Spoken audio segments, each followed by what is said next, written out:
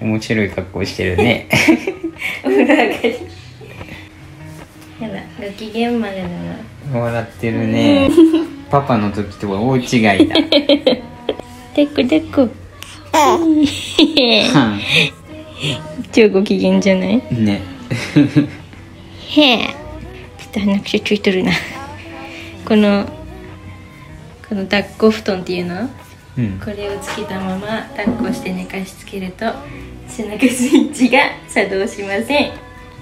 ねえ。ねえふかふかだね。うん、ね、最近の私の報告みたいな感じになるんだけどさ。うん。私お腹に穴が開きました。手術のあと傷口が開いちゃってうん。横1センチ奥行き 5, 5ミリくらいの穴が開いてます今。結構深いよね。もうね見つけた時に冷や汗かいた。みたいな、開いてるって感じ。でも痛みはねそんなに言うほど痛くないけどでもしゃがんだりとか。見ると痛いよね。そう。たまにズキズキするんだけど、うん。そんな支障をきたすほどはないんだけど。で今そのそこにある傷パワーパッド貼ってなんとか過ごしてますかねネットで調べたらねうん。結構同じような人もいてうん。なんか手術後すぐじゃない。ちょっと時間を置いてから開くの？そう3ヶ月とか5ヶ月とか。うん。私ちょうど今3ヶ月目だから産後。あもう徐々に開いてったんやなって感じ。やっぱ動きが激しいとそうなっちゃうのかな。そうなんかでも普通安静に安静にしてなかったからかもしれないあんまり。うん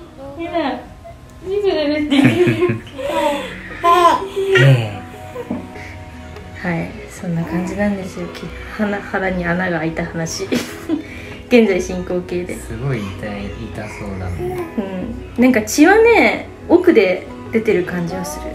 でも奥が赤黒い。そうそうそうそう。なんかもう一回縫ってもらうんかと思ったらそうじゃないね。絆創膏。そう絆創膏で自然治癒を待つって感じねえ、でも病院によって違うと思うよ。まあ、開き度によるんかな、うん。私はまだちっちゃい方なんかもしれない。海じゃないんだけどうんそういう物質が出ててなんかもうちょっと気持ち悪い気持ち悪い。おえってなったもん私。こんなグロい話してんのに彼はニコニコですよかわいねこの手がかわい。いギュッと握りしめてる、楽しいね。楽しいね。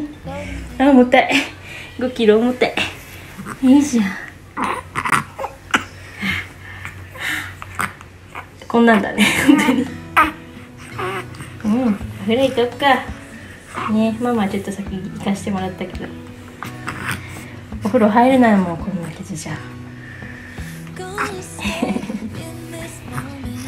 そんな感じで今回は生後産後3ヶ月腹に穴が開いた話でした。はい。とても痛々しい話です。そうですね。